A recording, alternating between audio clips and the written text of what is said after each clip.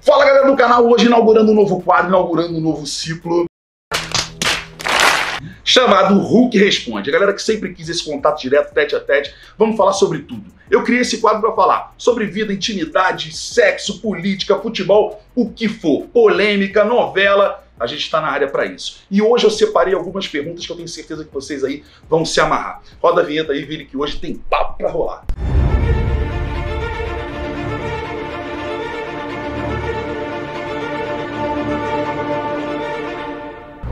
Pergunta do nosso canal hoje, vamos lá, eu selecionei aqui a pergunta do Bruno Ramos.m. Bruno Ramos.m.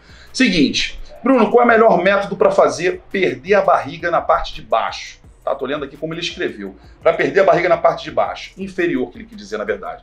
Bom, cara, método, método, método não existe. Existe sim a sua rotina, a sua frequência de exercícios cardiovasculares.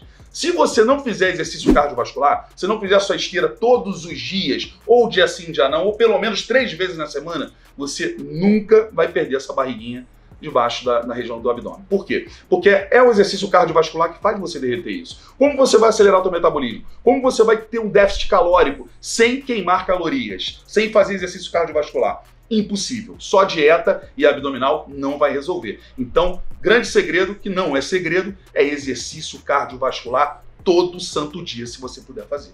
Vamos lá, seguinte, pergunta do Márcio Salvino. É, tá como, vou colocar como está escrito aqui, Márcio Salvino dá. É, bom dia, monstro. Consigo manter um shape treinando em casa? Vamos lá, se você tem uma barra pequena, uma barra grande alguns quilos de peso, você consegue fazer tudo. Tá? É óbvio que existem alguns exercícios que são exercícios variacionais que você vai buscar uma amplitude maior na academia. Então você não vai conseguir fazer isso em casa. Mas é óbvio que se você tiver uma barra grande, uma barra pequena, alguns pesos, você consegue fazer um monte de exercício, consegue diversificar, como por exemplo, você vai treinar bíceps, você consegue fazer rosca direta, rosca alternada, você consegue fazer um 21, você consegue fazer variações dentro do seu exercício com uma barra só pequena e uma barra grande. Isso tudo vai depender da sua imaginação, lógico que com uma consciência dentro do seu treinamento. É óbvio que você não vai pegar uma barra com alguns pesos e inventar coisas que vão te trazer lesões. Mas consegue? Consegue. Consigo ficar monstro? Monstro já é outro papo. Você precisa de alguns exercícios mais é, específicos. Vamos usar droga, desgraça! Pergunta da Oliveira.cris, 1989. Já treino há alguns anos e agora resolvi fazer um bulk. Diminua a intensidade do cardio? Vamos lá. É, existe alguma ligação em você fazer booking e fazer pré-contas e essa intensidade de cardio? Na minha opinião, existe, porque quando você faz um pré-contas, você precisa de um trabalho de termogênese maior e você vai atingir isso aonde? No exercício cardiovascular. Mas a pergunta dela é, se ela consegue no booking, se ela, na verdade, no booking, ela pode diminuir ou aumentar a frequência de cardio dela. Você pode manter a sua frequência de cardio. Você pode fazer todos os dias 40 minutos de cardio que você não vai perder massa muscular.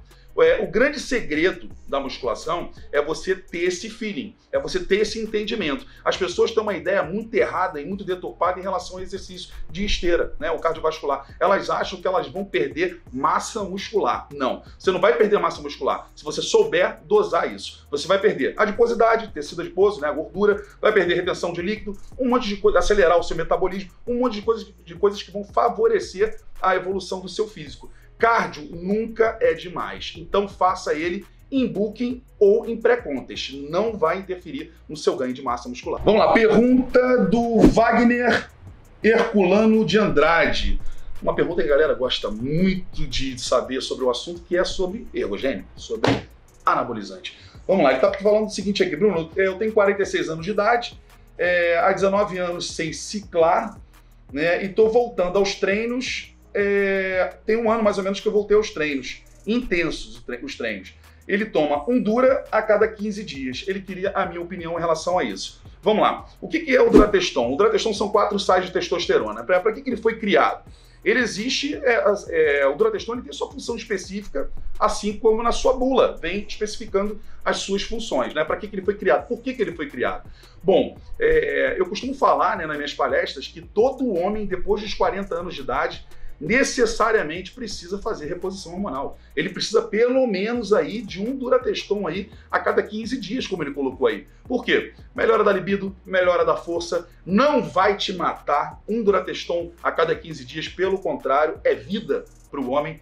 E então, tirem essa ideia da cabeça de que anabolizante mata. Anabolizante mata se você for inconsequente, se você for é, cabeça de vento, se você for um cara imediatista. Mas se você for um cara consciente, pelo que eu tô vendo aqui, ele tomando um dura a cada 15 dias, é um cara bem consciente. Então vai manter a relação de texto dele ali no nível legal, não vai diminuir a libido, até mesmo em casos de depressão. Tem gente que sofre de depressão pela falta de testosterona. Então, muitas das pessoas procuram soluções em cima do seu problema, dos seus problemas com psiquiatras e eles não conseguem resolver por ser um problema hormonal. Então, olha só aonde está o preconceito na cabeça da galera. Ah, anabolizante vai matar, onde na verdade ele pode salvar. Então, tire essa ideia errada da cabeça. Na minha opinião, Tá show de bola. Com 46 anos de idade, tomando um duro a cada 15 dias, você consegue botar um shapezinho legal. Lógico que não vai ficar monstruoso, mas consegue botar um shape muito estético. Tudo vai depender da sua dieta, da sua rotina de dieta, exercícios cardiovasculares e outras coisas que demandam para que você tenha um físico legal. Tranquilo? Pergunta aí do Rodrigo FVG2021. A gente tem que ler com muito cuidado esses links aí, essas perguntas que a galera tá costumando trollar a gente aí meus amigos foram pegos essa semana com uma sacanagem, que não é brincadeira não. Vamos lá, Bruno, é o seguinte, antes estava melhor. Só manter as fibras e crescer mais um pouco. Agora você está inchado. Bom, meu velho, vamos lá. Existem duas fases na preparação de um atleta, que é o booking e o pré-contest. Se você conhece algum atleta em booking, fibrado até a orelha, me apresente, porque eu ainda não conhecia até hoje. Nem Big Ham, nem Ronnie Coleman, ninguém chegando no seu booking, no seu off-season fibrado.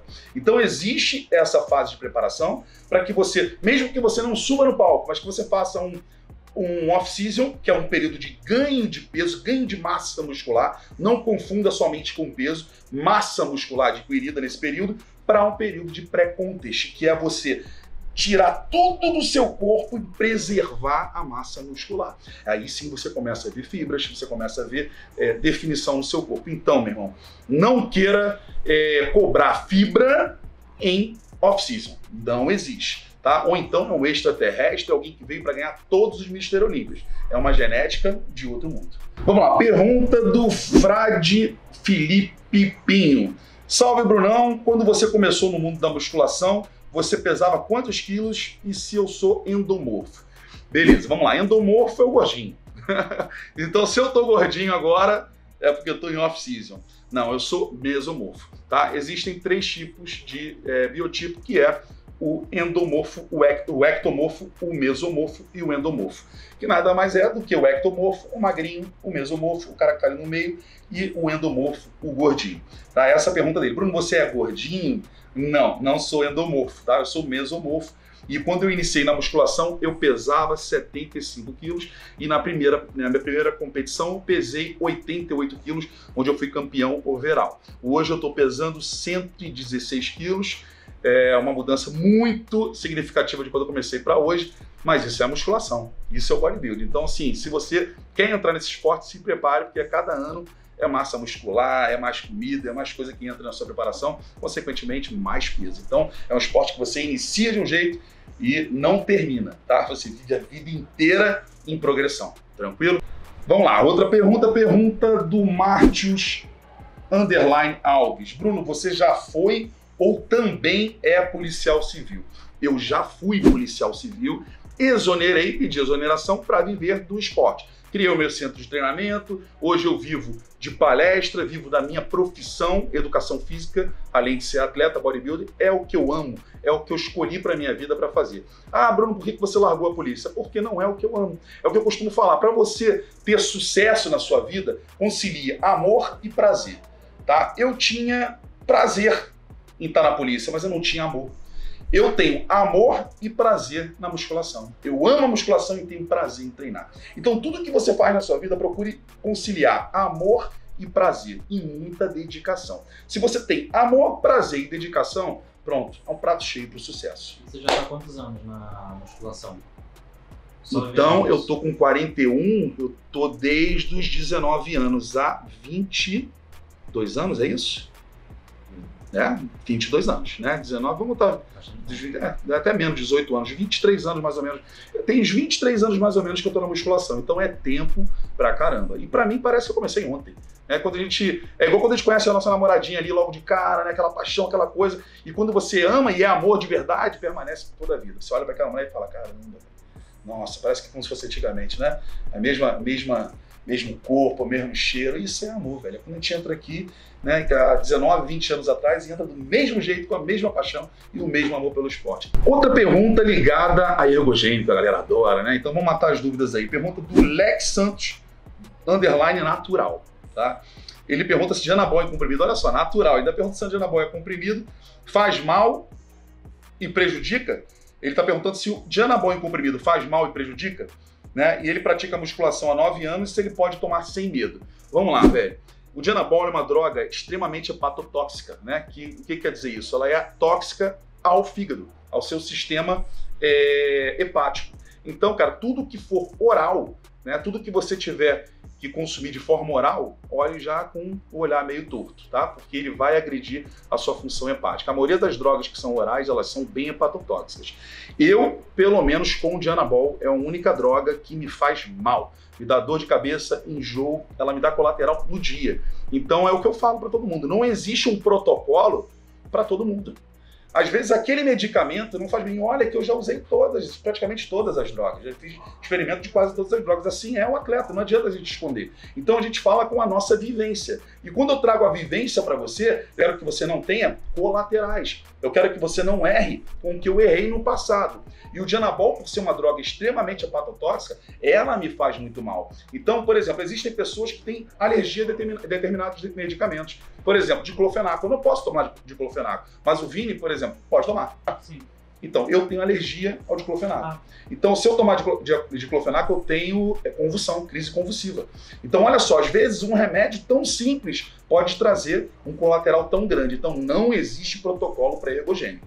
Tá? Existe sim a individualidade biológica, a maneira como a pessoa responde aquilo ali, e é óbvio que ela vai ter que fazer o uso para saber. Vai ter, não, tá? Isso aí não é uma indicação. Se ela fizer o uso, ela vai saber se aquele medicamento faz mal ou não a ela naquele dia. Mas em relação à sua pergunta sobre o Dianabol, evite, tá? Evite, porque é uma droga extremamente hepatotóxica e vai te fazer é, vai te trazer algum colateral, provavelmente no futuro bem próximo. Vamos lá, vamos para a última pergunta hoje, hoje, né? A pergunta do Fernando Begatron.